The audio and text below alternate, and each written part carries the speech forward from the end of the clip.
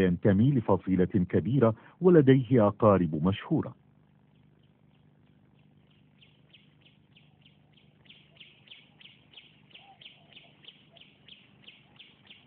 في الصين فصيلة كبيرة من طيور التدرج التي تستوطن عادة في الغابات. رغم أنها تستطيع الطيران إلا أنها تقضي معظم أوقاتها على الأرض والعديد منها ميزه الله سبحانه وتعالى بألوان مدهشة ألهمت الفنانين الصينيين عبر آلاف السنين.